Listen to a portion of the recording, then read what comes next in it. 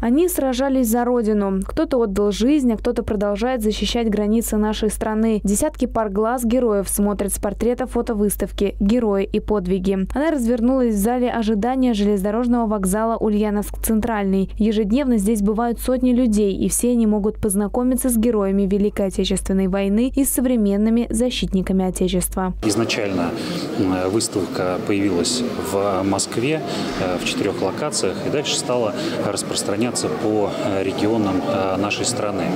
Причем каждый регион может добавлять, что мы, в принципе, и сделали, подвиги тех героев, которые привязаны к конкретному региону, в данном случае к нашему краю Ульяновской области. Максим Михайлов с детства увлекался спортом. Осознанно поступил в танковое училище. 1 июня 2022 года 28-летнему Максиму посмертно присвоили звание Героя России. В том же году высокого звания удостоился и Александр Шишков. Звезду Героя молодому мужчине тоже присвоили посмертно.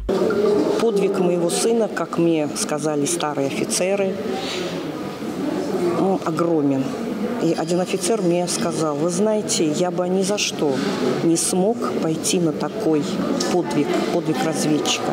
То есть он шел на явную гибель, знал об этом, но шел, потому что за ним целый батальон, это 300 человек. Нужно, чтобы они были живы и, конечно, выполнить задачу. Каждый подвиг и небольшая история жизни героев описаны на выставочных стендах. Мама Вадима Епифанова с теплотой смотрит на портрет сына. Сдерживать слезы не получается. В 2023 году командиру разведывательной роты Вадиму Епифанову за спасенные жизни товарищей, за смелость и отвагу посмертно присвоили звание Героя России. Подвиг совершил он 7 июля 2023 года. Защитил он разведчик. Вот, защитил своих ну, своих мальчиков защитил, парней, как он сказал, моих детей. А вот. Он был командиром разведроты. Мы пошли на очередное задание на поселок Крынки.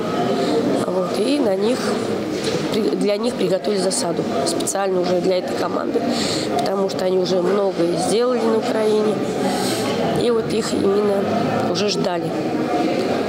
Вот.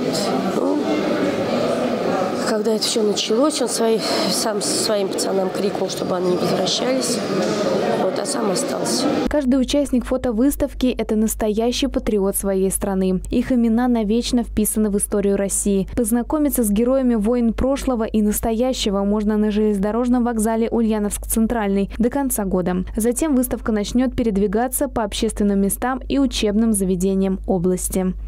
Светлана Карпухина, Герман Баранов, Улправда, ТВ.